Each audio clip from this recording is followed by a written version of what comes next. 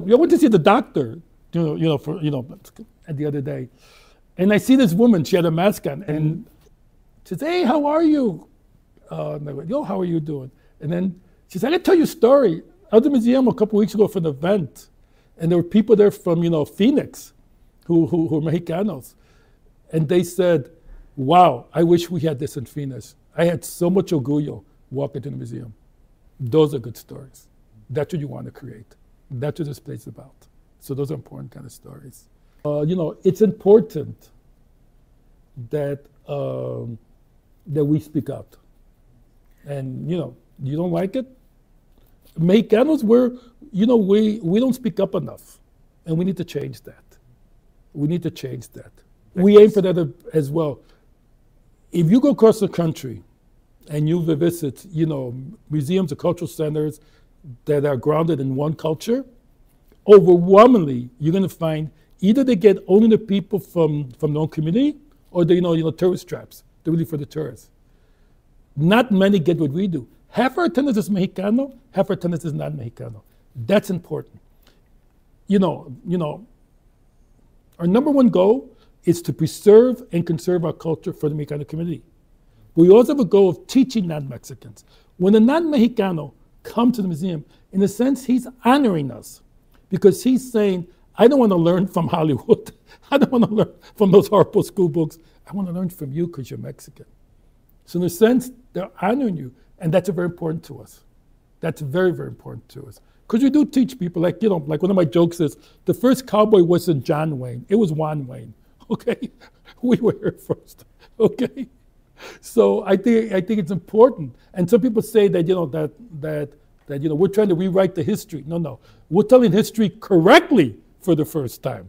We're not rewriting anything. You wrote it wrong, not us. We want to we, we want to say how it really happened correctly. And you know we show the good and bad of Mexico too. We just don't you know, like sports teams, you know, like you're for Chivas, and Chivas loses five to nothing. Oh, and the referee, pedimos cinco, nada, amigo. it wasn't the referee.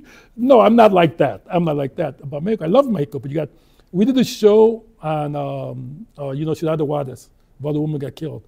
Oh, people from the government of Mexico, oh, the consul, they got very upset. This is about 10 years ago. No, about 15 years ago. They were very upset. No, es malo, decía eso, porque es malo, está pasando. We got to stop this. And we got to teach people this is still happening and it's wrong. Oh, but you know, but, but you know, how can you be a proud Mexicano and do this? Yeah, because I love Mexicans. And Mexican women are being killed. Yes, we have to stop this. You don't ignore it, pretend it's not there. You don't say it's UFOs. Give me a break. So it's important that we say these things. And sometimes people don't like it. But you know, you, you know, you don't make change sometimes without getting people upset. I don't know how you do that in life. Sometimes you, you know, it's not easy. Our philosophy hasn't changed at all. Todavía mission, todo is the same.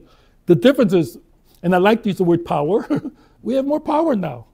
We're larger. You know, we do things all over the place. Uh, we're, we're, working a lot with Chiapas now. Uh, but you know, we worked all over Mexico. We sponsored a movie.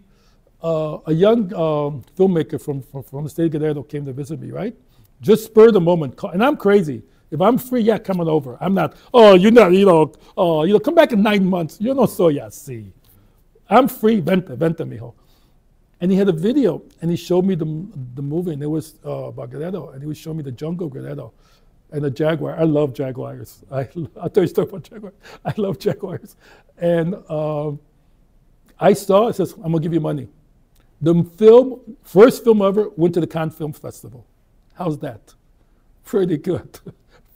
Well, where the pretty nice state was who was attacking Mexicanos viciously, viciously, you know, and uh, these people are being attacked, and we're saying, no, you're Mexicano, man. You're great. You have a great ancient culture. You know what you've done. You're amazing. You know, it's got to give them a sense of pride.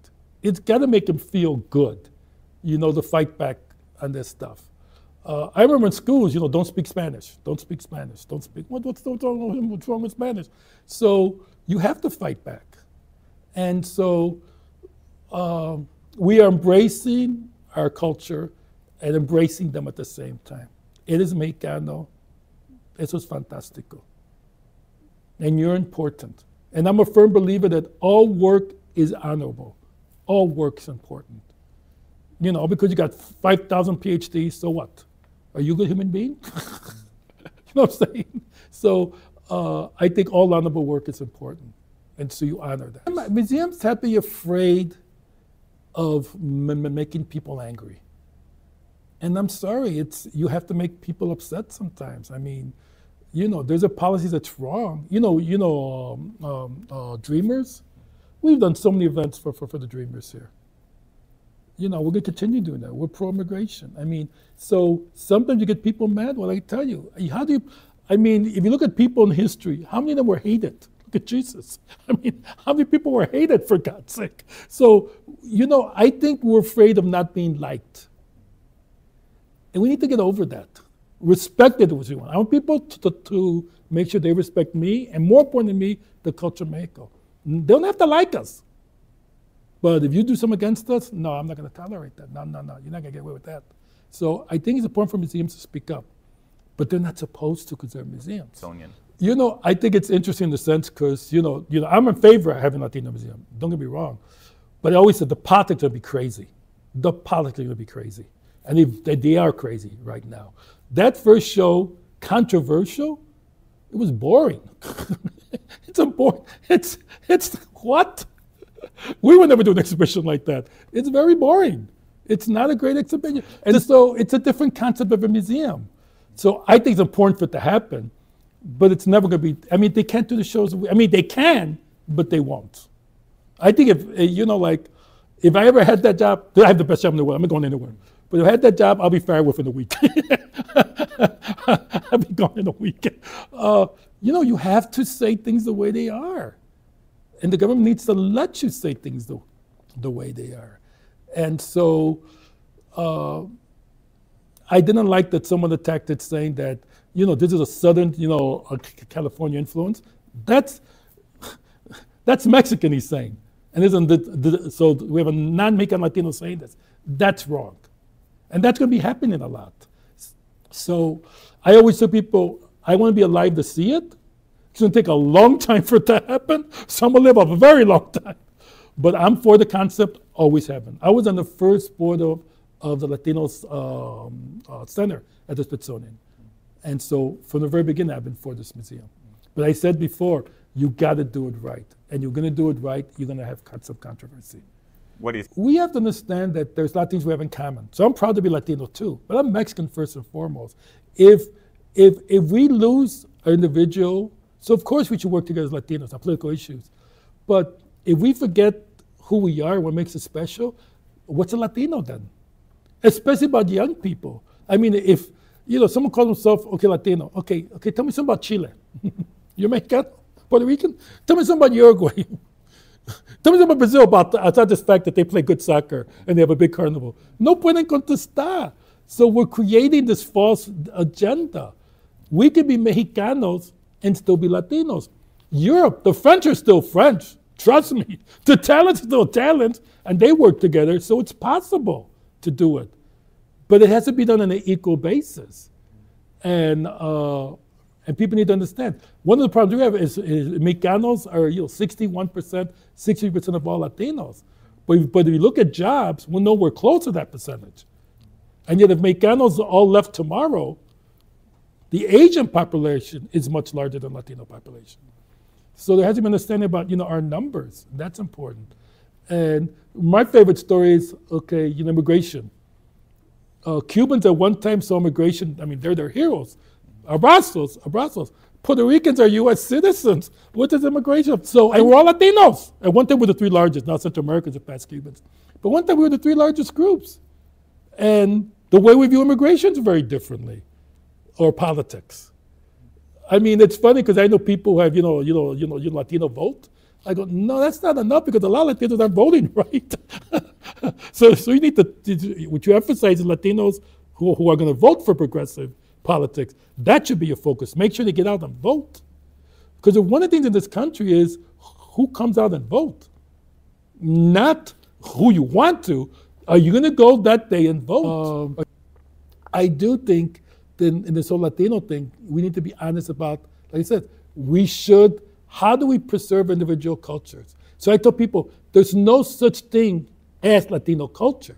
There's Latino cultures, parentheses, plural. And each country in Latin America has a beautiful culture, something they should be very proud of.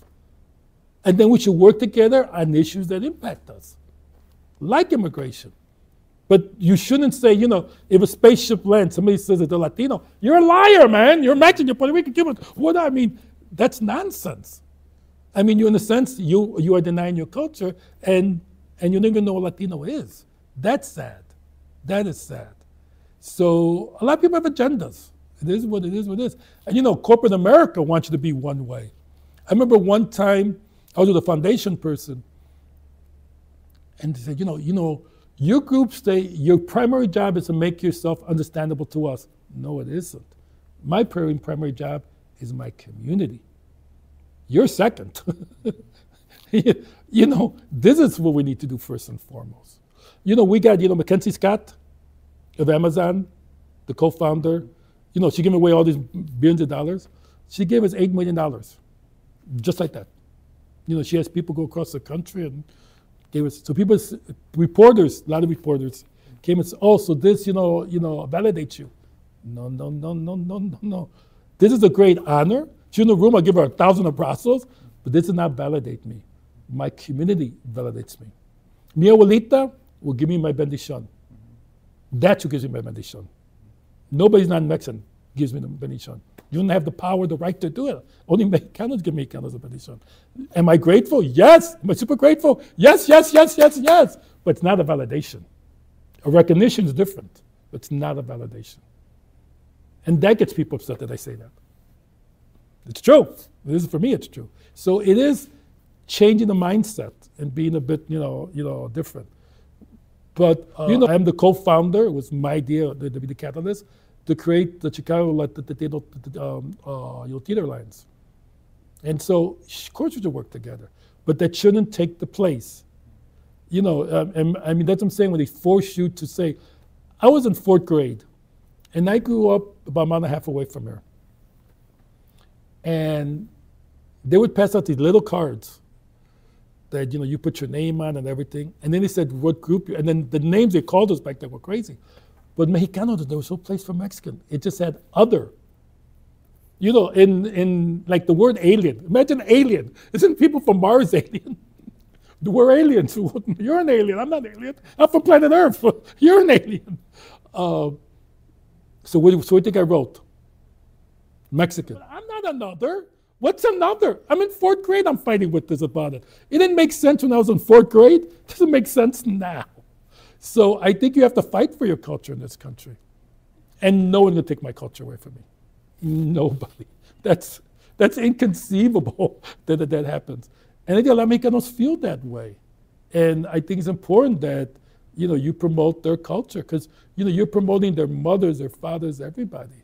You know, there, there, there are a lot of Mexicano politicians who have tried to try to have control over us. I tell them, this place is about your mother, your father, your grandparents, your great grandparents. Why do you want to control them? No, you're not going to control me. I'm not going to help you get money. Okay, bye. I mean, you, you have to take those stands sometimes, and you do lose money sometimes. And you do lose, people could be allies, but what they want isn't worth, it's not worth it. You know, like, you know, like, you know, corporations always want to put their names above us. No, no, no, no, no. No. Below, below, not above us. No. And so, and some people don't get money. But I can stand next to that and be proud of it. Y mi abuelita, oh, she would kill me if I did that. Ya está muerta. 1990, 33 años. She would, okay, okay, okay, okay, I'm doing the right thing. I used to call her Chula. Okay, Chula, okay, okay. Yeah, yeah, okay, okay, okay. You know, me estoy portando bien, okay. I mean, you know, you know what's right or wrong. You have that inner thing that tells you, ooh, that's not, that's, I mean, you know when you're doing things wrong. Come on. We know. 95% of the time, we know we shouldn't have done that. And, you know, this is not the Carlos Museum. It's not the Carlos Soto Museum. It's Mexican, Mexicano. So I have to make sure. And Mexicanos, the, you know, those lados, that's very important to us. Very important to us. You're not more Mexican because you're born in Mexico. No. My, in fact, Mexico has two major problems. You're not going to agree with this. It's not the cartels. It's not the United States. It's not all the politicians who are crooked. Obviously, those are problems. The two major problems in Mexico are one, they treat Mexicanos from this side like gente baja.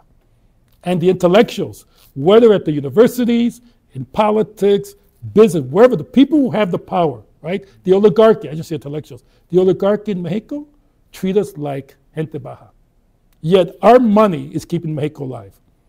If we stop sending money to Mexico, there goes Mexico. And instead of appreciating us, they treat us badly. I've, I can, the second thing we do, if you're light-skinned Mexicano, they treat you better. And la gente de los pueblos originarios, they should be like this, not like this. And we treat them badly. That's not right, it's not good. Because in a sense, and this is going to blow you away, racism is worse in Mexico than in the United States. Because a white racist will never consider a Mexicano, a black, a Latino as part of them. They're over there. But we all have sangre. I mean, how many of us don't have sangre? You know, indígena. Give me a break. Give me a break. So in a sense, you're down on yourself. You know, at the um, um, Televisa. If the only thing left in Mexico were, were, were, the, were all the novelas, you would think most of the people in Mexico are light skinned. And with money. Everybody had money. I mean, and this is being done by our own people. That we have to attack. That we can't accept. That's bad. And when you talk to people who, who, are, who, who, who are progressive, in Mexico, they don't like hearing this. There was a reporter from La Jornada. We're, we were being interviewed. He goes, Man, you spend so much time on racism. It's a racism, racism. And there's a racism in Mexico? No, I know racism in Mexico. What? What? I go, you know what? Te pago. Vamos dos semanas a México, te llevo. I bet you, yo pago todo. But if I'm right, después de dos semanas, tú me pagas a mí. Come on, let's do it.